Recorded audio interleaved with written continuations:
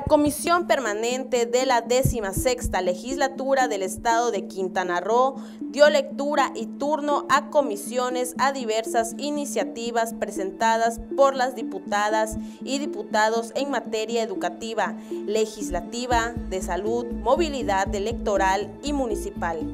En la sesión número 9, presidida por el diputado José Luis Guillén López, también envió a comisiones una propuesta de punto de acuerdo que plantea exhortar a la Secretaría de Educación y a la Secretaría de Comunicaciones y Transportes, ambas del gobierno federal, para que el ámbito de sus competencias garantice el acceso a todos los educados de las escuelas públicas del estado de Quintana Roo al sistema de educación a distancia o virtual para el inicio escolar 2020-2021. Además, se turnó a comisiones una iniciativa de reforma a la Ley de Salud del Estado que propone incluir el COVID-19 en el catálogo de enfermedades transmitibles para que se realicen actividades de vigilancia epidemiológica, de prevención y control, así como también incluir la obligación de realizar